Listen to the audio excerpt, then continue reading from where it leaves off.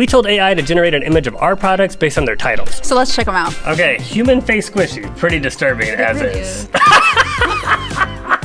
I don't like it. That's disturbing. He is happy, which is nice. Tangle Hairy. You throw the word Harry in there, who knows the AI is gonna come up with. Harry Styles. what? I love it. It's like a weird, like, death metal logo. Cosmic Thinking Putty. Oh, not bad. No. Ooh, jellyfish lamp. This is one of my favorite products. Yeah, let's So- see. Okay. It's we should sell this. It's a jellyfish lamp. Okay, our mysterious box of mystery. Oh, okay. What is happening? We can sell that.